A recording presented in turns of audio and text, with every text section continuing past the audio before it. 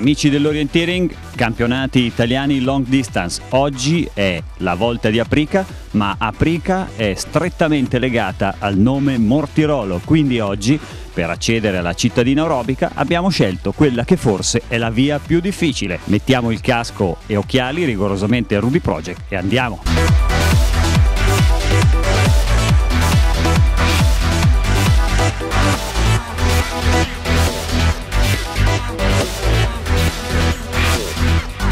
Io mi chiedo perché devo avere queste idee del cacchio.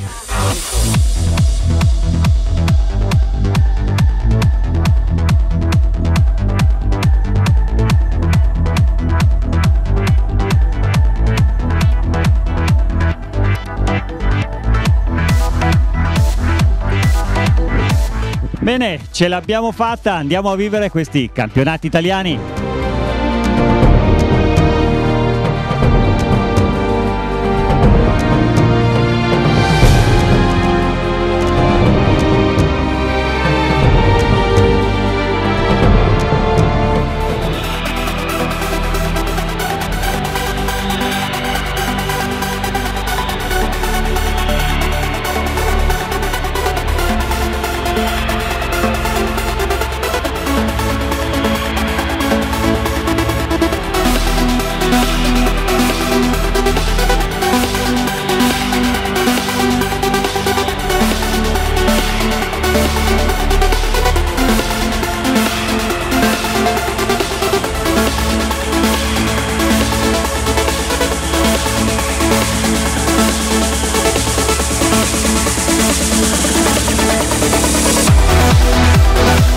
E siamo ai 1700 metri del Palabione.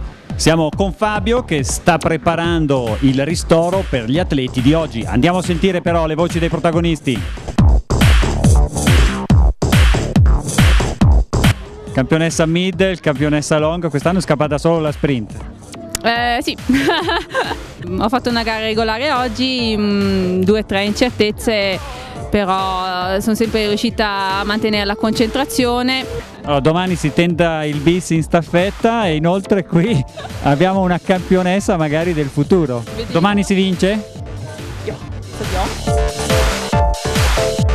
Sicuramente due dei protagonisti più grossi sono loro, Sebastian Inders, accreditato il secondo tempo, e Roberto Dalla Valle primo. Per te sarebbe il primo titolo italiano. Sì, questo è il mio primo titolo italiano e dai, sì, sono contento per, per come è andata. Ecco, per venire ai campionati italiani hai rinunciato ai campionati nazionali svizzeri.